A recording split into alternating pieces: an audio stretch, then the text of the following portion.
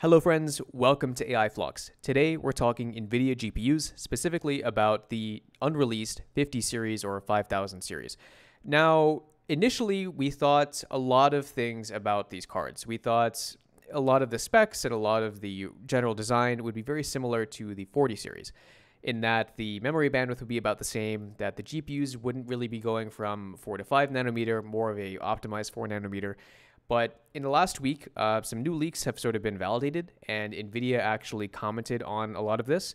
And it means some interesting things for anyone doing generative AI work. So initially, there was lots of speculation that the next series would actually be kind of a half release, in that this would be an improvement over the last generation, but was really just kind of a rebranded or rebadged uh, version of what would have been like a 4090 Ti.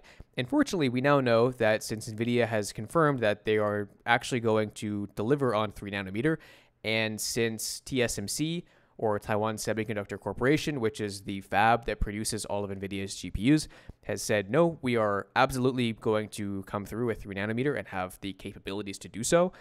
We know that uh, the general trajectory of these GPUs is way different than we thought even a month ago.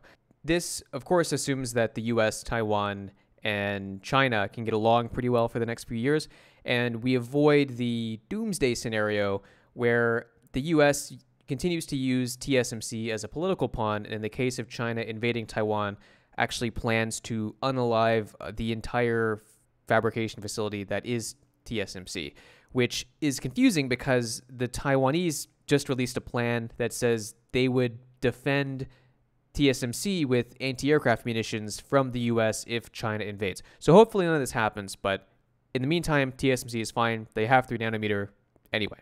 So the issues of size, power, die size, and compute capability, and just how much more powerful these GPUs will be is totally different. And there are a few reasons why we think that. So the biggest one to look at is what 3 nanometer means. So this is a smaller lithography, which means the transistors on the GPU are legitimately just smaller. So you can pack more of them in the same space. And this means a lot of things engineering wise. So, for instance, if NVIDIA wanted to keep going with the balls to the walls approach, they could just make uh, another absurdly power hungry, powerful GPU and get the maximum gain in performance. But traditionally, NVIDIA doesn't do this. Usually, they opt for better power efficiency and better thermal efficiency, which, based on these new specs, appears to be what they're doing.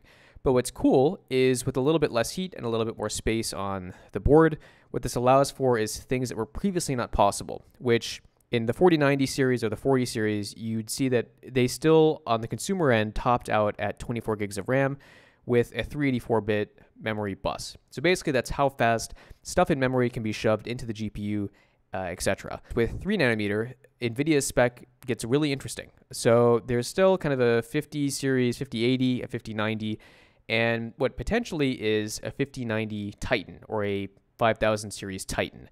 And this is cool because it might mean that we'll get a consumer GPU that has 32 gigs of RAM and a 512 bit memory bus, which is incredible. It harkens back to the days of the original Titan, uh, which, like, the reason this was cool was you got wildly good performance, and you're still paying for this performance, but it's not quite the price hike that you see with the uh, professional RTX cards. So, like the A6000, the recently released RTX 6000, and some of their uh, proper like data center cards, like the A100 or the H100. And when it comes to AI stuff, uh, the clocks, the IPC, some of these specs, uh, they mean different things than they do to gamers.